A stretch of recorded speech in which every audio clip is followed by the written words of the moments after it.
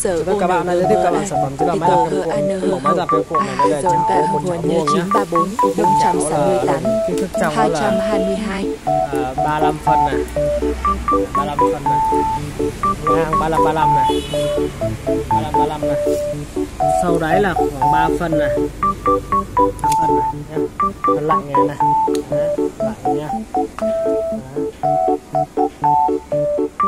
Công tắc này công tắc nguồn này điện 220V này công tắc nguồn này xà ga này.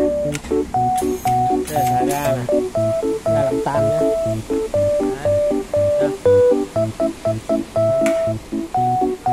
chất liệu máy là inox hết nhé Đấy, inox inox nha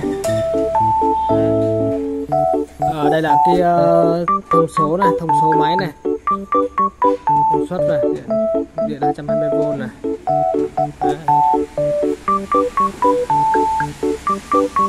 Đấy. Bật ga lại.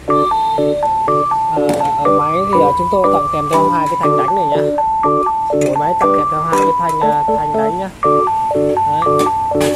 ở đây là chúng ta lắp vào nhá lắp vào cái bề mặt nhá ở đây lắp thêm nhá đấy đây là có cái con ốc có thứ này.